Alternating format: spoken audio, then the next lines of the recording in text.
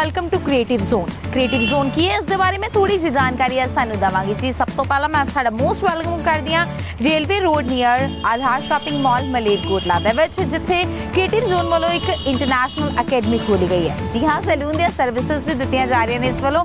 ਕਿਹੜੀਆਂ ਸਰਵਿਸਿਜ਼ ਨੇ ਤੇ ਕੀ ਫਾਇਦੇ ਹੋ ਸਕਦੇ ਨੇ? ਇੱਥੋਂ ਦੀ ਸਾਨੂੰ ਡਿਗਰੀ ਕਰਨ ਦੇ। ਅੰਦਰ ਚੱਲ ਕੇ ਦੇਖਾਂਗੇ।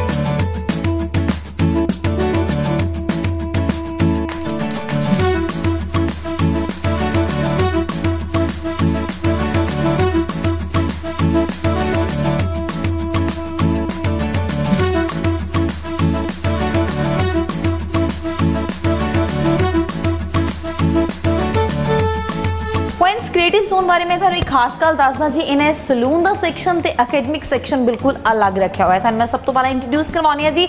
ਸੈਲੂਨ ਦੇ ਸੈਕਸ਼ਨ ਦੇ ਵਿੱਚ ਤੁਸੀਂ ਫੇਸ਼ੀਅਲ ਸਰਵਿਸਿਜ਼ ਹੇਅਰ ਸਰਵਿਸਿਜ਼ ਤੇ ਮੇਕਅਪ ਦੀਆਂ ਸਰਵਿਸਿਜ਼ ਲੈ ਸਕਦੇ ਹੋ, ਜੋ ਕਿ ਬਿਲਕੁਲ ਸੈਕਸ਼ਨ ਰੱਖਿਆ ਗਿਆ ਅਕੈਡਮੀ ਤੋਂ ਅਲੱਗ। ਬਟ ਜੇਕਰ ਤੁਸੀਂ ਇੱਥੇ ਆਪਣੀ ਸਟੱਡੀ ਕਰਨਾ ਚਾਹੁੰਦੇ ਹੋ, ਕਿਸ ਤਰ੍ਹਾਂ ਦੀ ਕੋਈ ਡਿਗਰੀ ਲੈਣਾ ਚਾਹੁੰਦੇ ਹੋ, ਫਿਰ ਤੁਸੀਂ ਸਭ ਤੋਂ ਪਹਿਲਾਂ ਮੇਰੇ ਨਾਲ ਐਂਟਰ ਕਰ ਸਕਦੇ ਹੋ ਜੀ ਅਕੈਡਮਿਕ ਸੈਕਸ਼ਨ ਦੇ ਵਿੱਚ।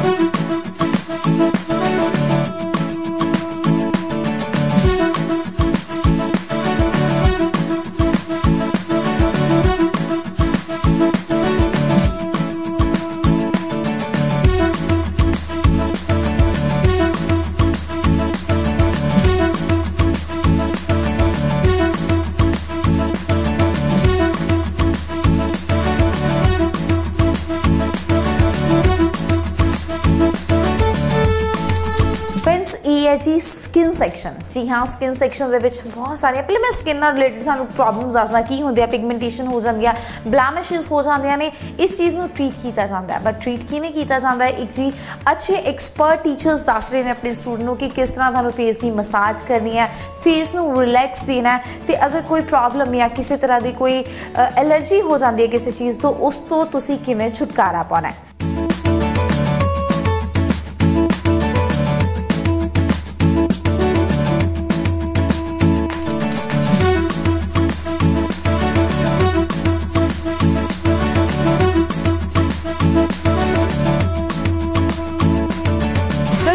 ਵੈਲਕਮ ਟੂ ਹੇਅਰ ਲੈਬ ਜੀ ਹਾਂ ਹੇਅਰ ਲੈਬ ਤੋਂ ਬਾਅਦ ਤੁਹਾਨੂੰ ਮੇਕਅਪ ਦੇ lab skin lab body lab ਤੇ ਸੈਮੀਨਾਰ ਹਾਲ ਹਰ ਇੱਕ ਚੀਜ਼ ਅਲੱਗ ਦਿੱਤੀ ਗਈ ਹੈ। ਇਹ ਸਾਰਾ ਤੁਸੀਂ ਦੇਖ ਸਕਦੇ ਹੋ ਅਕੈਡਮਿਕ ਸੈਕਸ਼ਨ ਹੈ।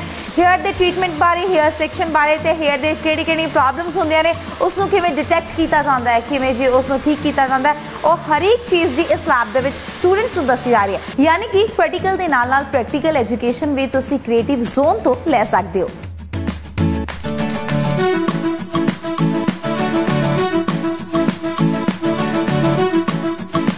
We are related to Beauty Academy. The beauty sector is one of the leading sector of the world and it's the only sector which is providing 100% placement to all the students. Plus, Creative Zone is the only academy providing 100% placement to their students as well as they are placing other academy students to, uh, to Creative Zone. Secondly, we are not only indulged in business, we are also indulged in social activities. So, uh, welcome to you. Y- And I would request you, you must visit our academy once and be a part of it. Thank you. ਕੀ ਖਿਆਲ ਹੈ ਜੀ ਸਨਮਾਨਿਤ ਕਰਨਾ ਚਾਹੀਦਾ ਹੈ ਇਹਨਾਂ ਨੂੰ ਸੈਰ ਪੰਜਾਬ ਦੇ ਬੈਸਟ ਸਰਵਿਸਿਜ਼ ਅਵਾਰਡ ਦੇ ਨਾਲ ਬਿਲਕੁਲ ਜੀ ਕਰਦੇ ਹਾਂ ਇਹਨਾਂ ਨੂੰ ਸਨਮਾਨਿਤ ਬੈਸਟ ਸਰਵਿਸਿਜ਼ ਅਵਾਰਡ ਦੇ ਨਾਲ